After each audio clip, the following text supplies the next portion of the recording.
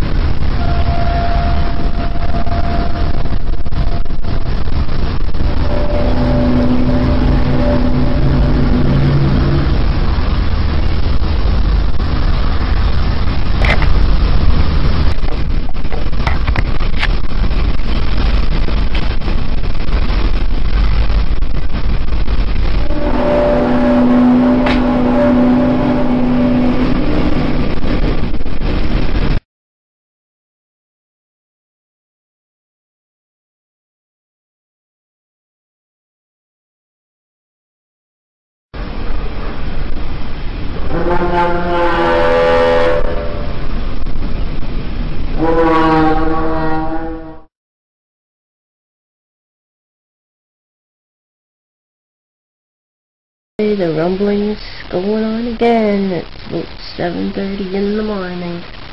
7.44.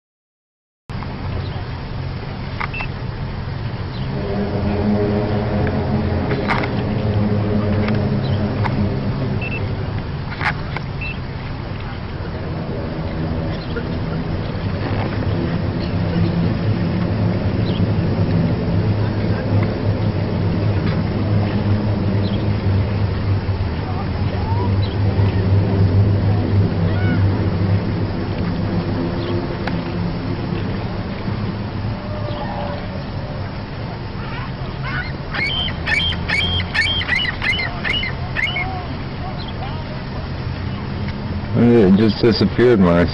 What did? The trail that was making that trail went all the way up to there, and it just disappeared again. Okay, I'll put some hands on you.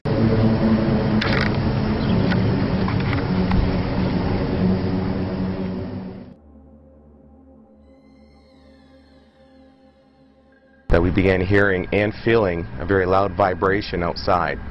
Uh, we really didn't acknowledge it at the time, but a year and a half later, the vibrations and the rumblings have become so intense that it's disrupted our daily lives. Uh, the rumblings begin almost immediately in the morning and proceed throughout the evening, getting stronger in intensity. I live in South Windsor. Uh, we started hearing some of the rumbling noises in about February. And then in time, I started noticing greater frequency and patterns, particularly in the evenings, um, where this noise was occurring. And uh, it really culminated in an incident uh, at the end of May, May 31st. I was watching a, a basketball game and it was incredibly loud. The vibrations, you could feel them coming through the house and, uh, and through the windows. We went out to see what it was and it was just so intense.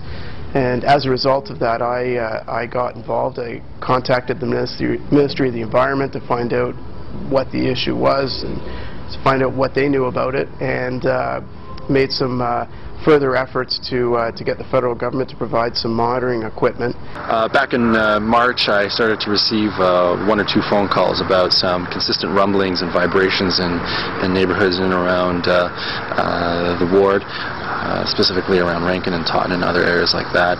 Um, at the time, I probably would have thought it was just some sort of isolated construction project in the area, but it then escalated uh, quite significant over the next uh, month and a half, two months or so. I started hearing it from all over the uh, western part of, uh, of my ward, uh, Ward 10, and then started to hear a lot more from residents uh, all over the southern part of, of Windsor and west parts of Windsor and LaSalle.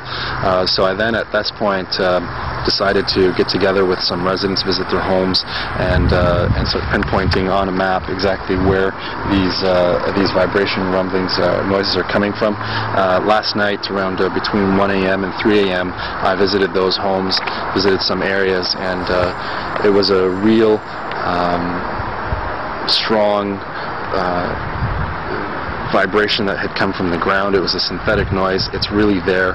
Um, You personally experienced I personally experienced it. I, I sat and, and the person in the house at the time shut off the air conditioner, shut off the furnace, shut off the water uh, main, shut off the electricity, and turned everything off and around the house. And uh, if you put your palm to uh, the hardwood floor, you could feel uh, some sort of synthetic, uh, synthethi- synthesizing uh, uh, a little bit of a noise vibration. It's very weak. Uh, it grows a little bit, but it's consistent and it goes back down. Uh, it's real. It's there. It's present. And I think that this issue needs to be taken uh, much more serious. There needs to be an investigation. It's out there. Uh, it's getting uh, complaints are rising, and uh, it started with one or two people, and now it's gotten to hundreds and hundreds of people across the southern west part of the city, and even bordering into the south.